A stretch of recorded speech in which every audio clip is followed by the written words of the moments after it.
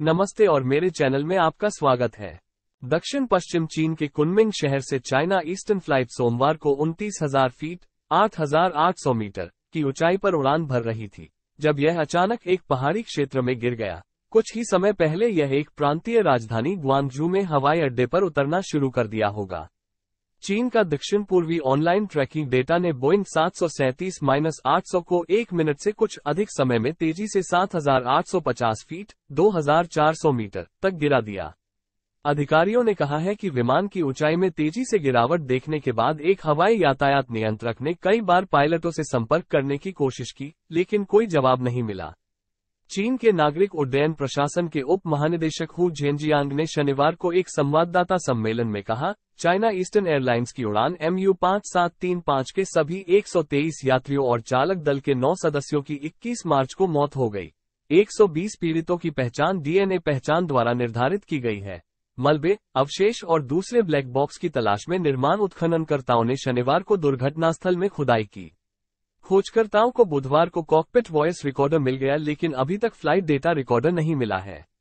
विमान द्वारा छोड़े गए 20 मीटर, पैंसठ फुट, गहरे गड्ढे में मिट्टी के ढलानों के माध्यम से झाड़ने के लिए घुटने ऊँचे रबर के जूते पहनने वाले श्रमिकों ने फावरियों और अन्य हाथ के औजारों का इस्तेमाल किया। मलबे और अन्य वस्तुओं को दर्जनों आयताकार मिट्टी से सने प्लास्टिक के कंटेनरों में एकत्र किया गया था। पानी की निकासी के लिए पंपों का इस्तेमाल किया गया क्योंकि बारिश वाले गुइजोग क्षेत्र में कीचड़ की स्थिति ने खोज में बाधा डाली। अधिकारियों ने कहा कि फोरेंसिक और आपराधिक जाँच विशेषज्ञों ने 114 यात्रियों और चालक दल के छह सदस्यों की पहचान की पुष्टि की है। चाइना ईस्टर्न, चीन की चार प्रमुख एयरलाइनों में से एक और इसकी सहायक कंपनियों ने अपने सभी सात सौ सैंतीस माइनस आठ सौ विमानों, कुल 223 विमानों को खड़ा कर दिया है। वाहक ने कहा कि ग्राउंडिंग एक सावधानी थी। ये संकेत नहीं था कि कुछ गलत था। चाइना ईस्टर्न ने पहले कहा था कि दुर्घटनाग्रस्त विमान, जो लगभग सात साल पुराना था, उड़ान से पहले की सभी उड़ान योग्यता आवश्यकताओं को पूरा करता था। आपदा ने राष्ट्रपति शी जिनपिंग से असामान्य रूप से तेज़ी से सार्वजनिक प्रतिक्रिया को उकसाया, जिन्होंने इसके कारण की जाँच का आदेश दिया क्योंकि विमानन अधिकारियों ने चीन के विशाल यात्री बेड़े की दो सप्ताह की व्यापक जाँच का वादा किया था। दुर्घटना बोइंग के 737 मैक्स की चीन में वापसी को प्रभावित करती है, आखिरी बड़ा बाज़ार जहाँ अमेरिकी विमान निर्माता अभी भी इंडोनेशिया और इथियोपिया में दुर्घटनाओं के बाद उड़ान फिर से शुरू करने की मंजूरी का इंतज़ार कर रहा है, जिसमें 2018 और 2019 में संयुक्त रूप से 346 लोग मारे गए थे।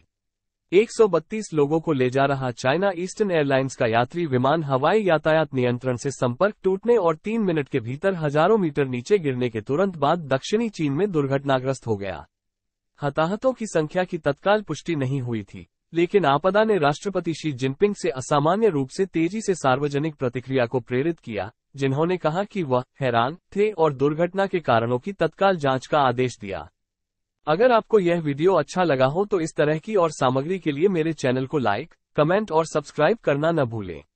देखने के लिए फिर से धन्यवाद।